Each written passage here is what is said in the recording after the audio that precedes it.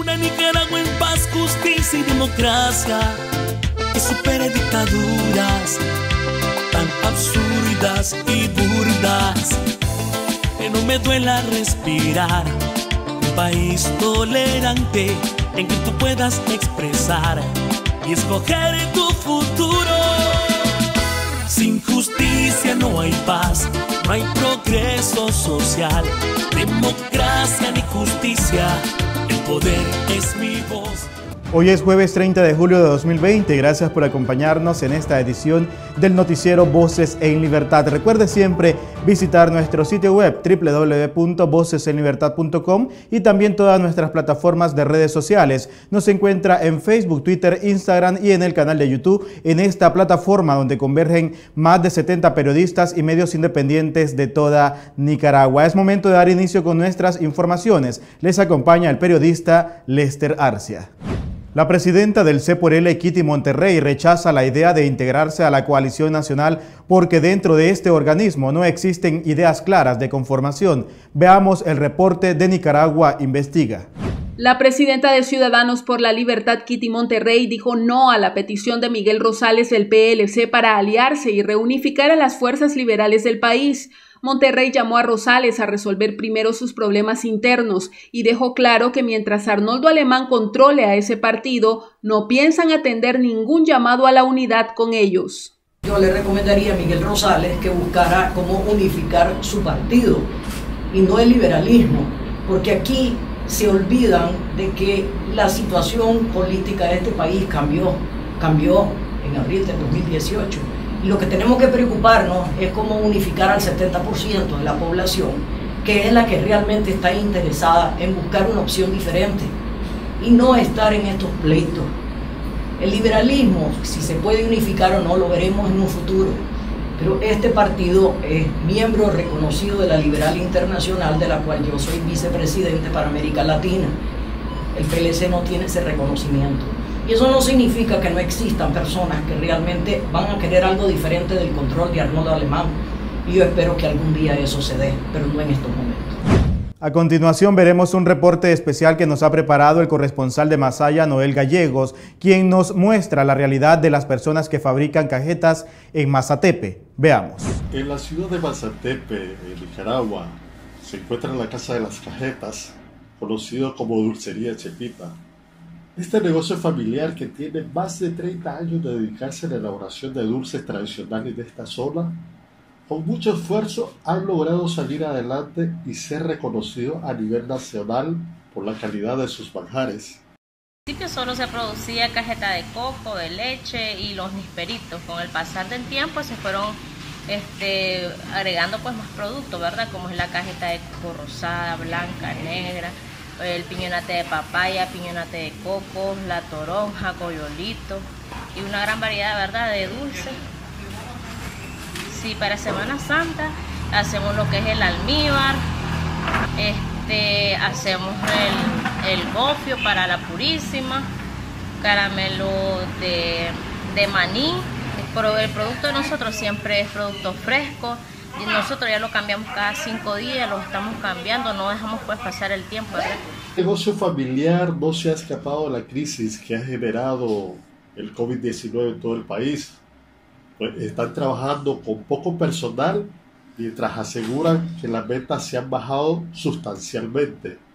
Sin embargo, en este negocio el trabajo no se detiene. Tal vez como un mes, dos meses tenemos de estar que se trabaja ya poquito porque no tenemos pues demanda. Ya. Este, el, el comercio de nosotros es local pues, pero este, como si viene gente de Managua, venía, pero ahora con esto, de esa pandemia, la gente poco está saliendo, ahora no sale de sus casas, Sí. entonces se han bajado bastante las ventas. Por ejemplo, antes nos trabajamos 200 cocos semanal, ahora lo que se trabajan son 100, prácticamente se está trabajando menos de la mitad. Trabajamos como 100 litros de leche, ahora solo estamos haciendo 40, que 50. Casi el 50% se bajó la venta de los Las expectativas y las esperanzas de que esta actual crisis económica y sanitaria del país mejore es uno de los mayores deseos de estos pequeños artesanos del dulce. Esperamos, ¿verdad?, que esto mejore pronto porque prácticamente nosotros sobrevivimos, ¿verdad?, de esto, de lo que es el negocio pues que tenemos. Y con esto se ha visto bastante, nos hemos visto pues bastante afectados. Esperamos, confiamos en Dios que esto pueda ya terminar más pronto posible. Y es que el secreto de estas cajetas macetepinas que complacen hasta el más exigente paladar está en el punto y en el sabor que solo ellos saben darle, y por supuesto en la frescura de su producto. Este ha sido un reporte de la ciudad de Mazatepe para Voces en Libertad, Noel Amílcar Gallegos. Radio Darío en este siguiente reporte entrevista a Sandra Ramos, quien expresa que los despidos en zonas francas son una severa vulneración a los derechos humanos de los nicaragüenses. Veamos el siguiente reporte. Esta semana hay 800 desempleados más en Nicaragua. La zona franca New Holland, ubicada sobre la carretera Tipitapa-Masaya, canceló los contratos aduciendo que su producción es menor. Sandra Ramos, directora del movimiento de mujeres María Elena Cuadra, dijo que las zonas francas de Nicaragua han despedido al menos a 12 mil personas amparados en un convenio tripartito que permite a la industria textil sacrificar empleos supuestamente por la crisis sanitaria. Dicen ellos que, las marcas han retirado los pedidos, pero hay marcas que dicen que no han retirado ningún pedido. Eh, lo que yo sí estoy viendo es que lo que quieren es aprovecharse de la flexibilización del trabajo. Aunque no precisó cuántas mujeres fueron enviadas al desempleo, la directora del movimiento María Elena Cuadra prevé una difícil situación para ellas, principalmente por la falta de oportunidades en el país debido a la pandemia del COVID-19 y la crisis sociopolítica originada en el 2018. Según Ramos, en este momento es cuando el gobierno debe apoyar a centenares de mujeres que han sido despedidas. También demanda a los empresarios a pronunciarse cuando los despidos ocurren en el sector privado. Ese convenio tripartito que fue firmado es un convenio oneroso para la clase trabajadora. Ahí se firmó la flexibilización pasando por encima de las leyes de este país. Es decir, reducción de jornada, eh, reducción de pago, despidos masivos, suspensiones colectivas de trabajo, todo en favor del empresario. La Fundación Nicaragüense para el Desarrollo Económico y Social FUNIDES dice que aún no vemos en su totalidad los estragos económicos provocados por el coronavirus. Solo este año se prevé que la tasa de desempleo aumente entre 7 y 9%. Este es un reporte de Radio Darío para Voces en Libertad. El experto en derechos humanos Uriel Pineda en entrevista para Confidencial expresa que la situación que viven muchos nicaragüenses en la frontera sur de Nicaragua no es nada alentadora. Veamos. Y ahora nos comunicamos hasta la Ciudad de México con el doctor Uriel Pineda, abogado experto en derechos humanos, para analizar el drama que enfrentan más de 500 nicaragüenses que están varados en la frontera de Peña Blanca por la política del régimen que les impide ingresar a su propio país. Uriel, la decisión del gobierno de demandarle a los nicaragüenses que desean ingresar al país por Peña Blanca o por cualquier otro puesto migratorio una prueba negativa de COVID-19 tiene algún sustento jurídico o constitucional? Ahí lo que ocurre es que es contrario al derecho a la libre circulación de eh, los ciudadanos nicaragüenses, que no solo tienen la libertad de moverse a lo interno del país, sino a salir y entrar libremente de Nicaragua. Es, digamos, natural que se impongan restricciones en tiempos de pandemia. O sea, hay, hay una pandemia por COVID y eso implica que se puede restringir este derecho de alguna manera. Sin embargo, esas restricciones deben de tener un par de elementos necesarios. Lo primero es que esté normado, es decir, sea objetivo, y el segundo elemento es que eh, sea racional, la búsqueda de un fin legítimo. Este es el elemento que creo que no se cumple. ¿Por qué? Porque si vemos la experiencia europea o la experiencia asiática en este momento, lo que están haciendo es que cuando hay viajeros de zonas geográficas de alto riesgo como Estados Unidos, Brasil, México, eh, al ingresar a territorio europeo o asiático, lo que están haciendo es eh, tener un periodo de, adaptación, un periodo de aislamiento de más o menos 10 días para eh, evitar que ingresen a, sociedades donde ya se ha controlado la propagación del virus. Sin embargo, no están exigiendo la prueba de COVID. Es decir, no hay cuando vemos los criterios en virtud del cual en algunos países se aplica la, eh, la prueba, parte de dos cosas. Uno, que se presenten síntomas o dos, haber tenido contacto con alguna persona que haya sido o que haya dado positivo en la prueba de COVID. Estos dos elementos no están presentes, la exigencia es desproporcionada.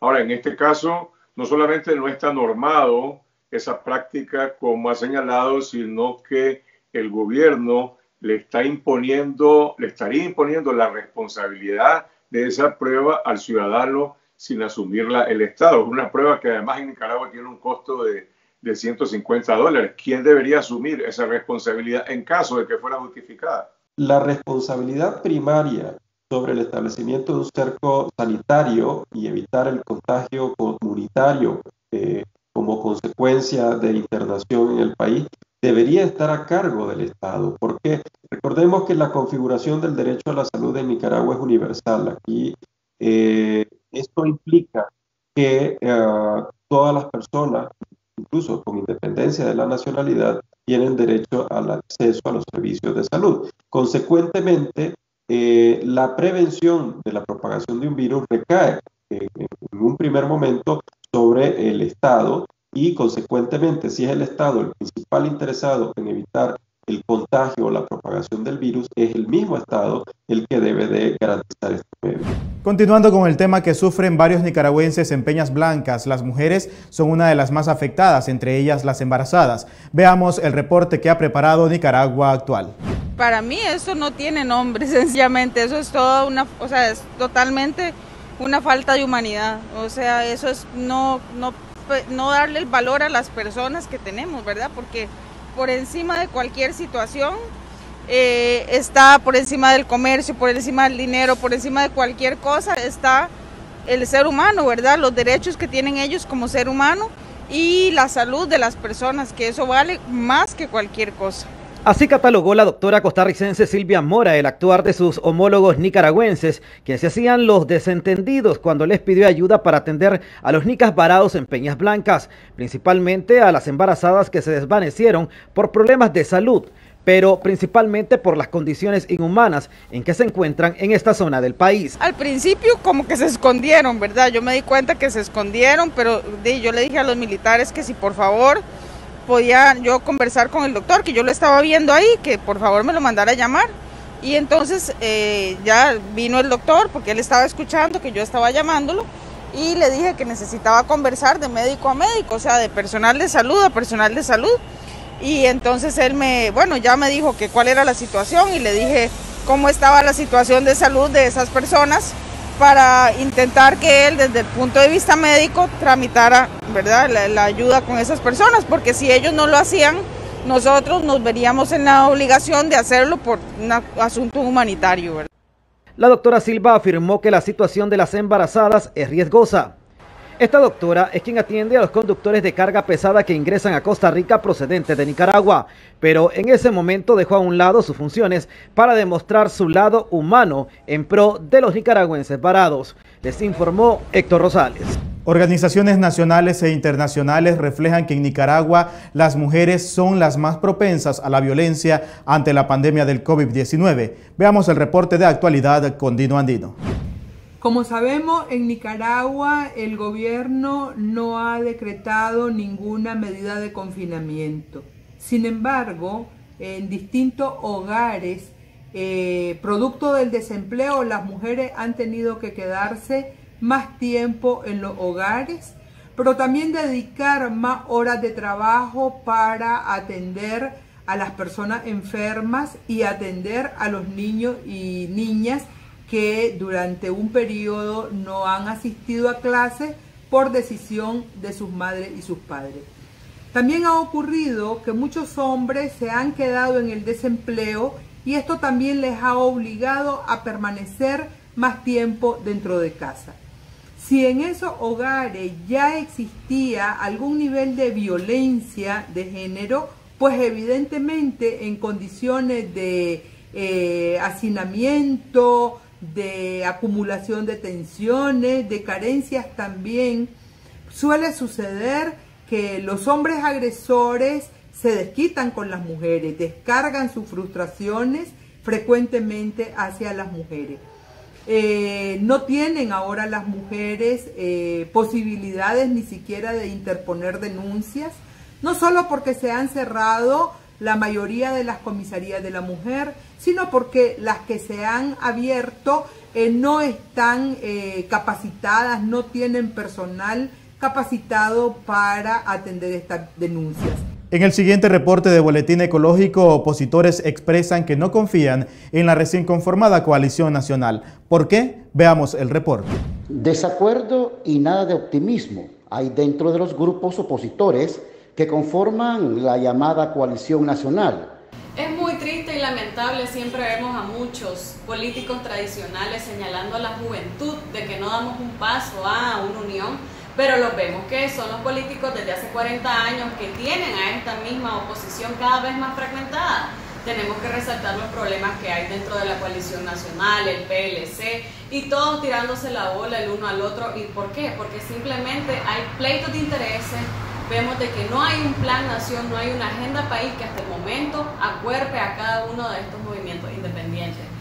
Y yo no le he visto el avance que han tenido para los familiares políticos, de los políticos, para los mismos presos políticos.